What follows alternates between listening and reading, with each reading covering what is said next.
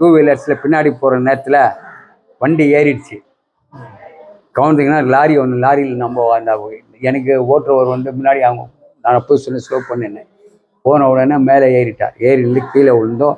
Back side இருக்கிற rod வருது இல்லை. பேக் சைடு ராடு வரும் லாரியில் கண்டெய்னர் மேலே ஏறி இறங்கிடுச்சு. இந்த சைடு ஏற்கனவே எனக்கு வந்து ஆப்ரேஷன் பண்ணி இது வந்து PEIS public education institute science research and Kuppam from நான் அங்கே போய் ட்ரீட்மெண்ட் பண்ணியிருந்தேன். அங்கே எனக்கு வந்து ரிகவரி இன்ஸ்ட்ரக்ஷன்ஸ் ஆகிப்போச்சு எனக்கு. அந்த ரிகவரி இன்ஸ்ட்ரக்ஷன்ஸ் ஆனதுனால எனக்கு எல்லாமே வந்து ஆப்ரேஷன் பண்ணி என்னை கிளியர் பண்ணி நடக்க வச்சாங்க. நடந்து இங்கே மாதிரி என்ன போனால் இந்த மாதிரி ஆகிப்போச்சு இப்போ எனக்கு என்னன்னா இந்த ப்ராப்ளம்ஸ் வந்து விஆர்எஸ் லோயர் இப்படி வந்து போச்சு.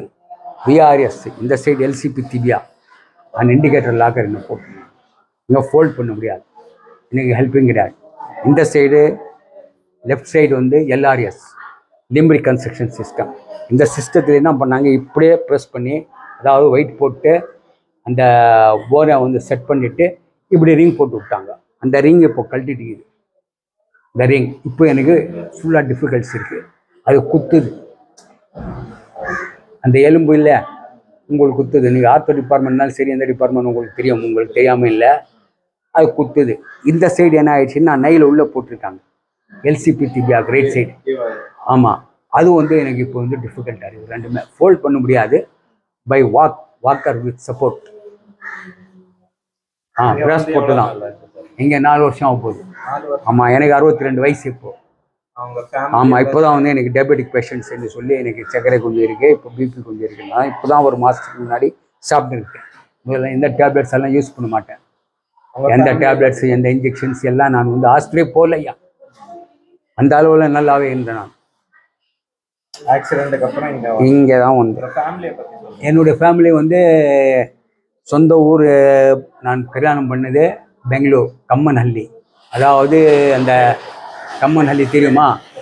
கம்மன்ஹள்ளியில் நான் மேரேஜ் பண்ணியிருக்கேன் எங்கள் ஒய்ஃபுக்கு வந்து பிரெயின் ஃபீவர் அதில் இறந்துட்டாங்க. இருபது லட்ச ரூபாய் செலவு பண்ணேன். எங்கள் ஒய்ஃப் அதாவது my wife death my life death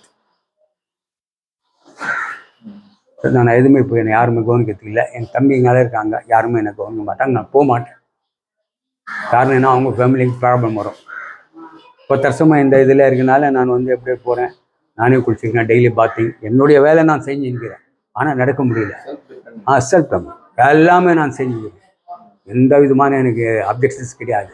என்ன அப்ஜெக்ஷன்ஸ்னால் என்னுடைய இது டிஃபிகல்ட்ஸு நடந்து போயிட்டு எதுவுமே செய்ய முடியாது. ஆனால் வாக்கர் வச்சு நடப்பேன். இப்போ கூட இப்போ எனக்கு வலி அதிகமாக இருக்கனால ஆ ப்ராஸ் இருக்கு என்கிட்ட with support brass and with support for walker. I walk for completely four times I am returned to back. That's why my health is well. Yeah.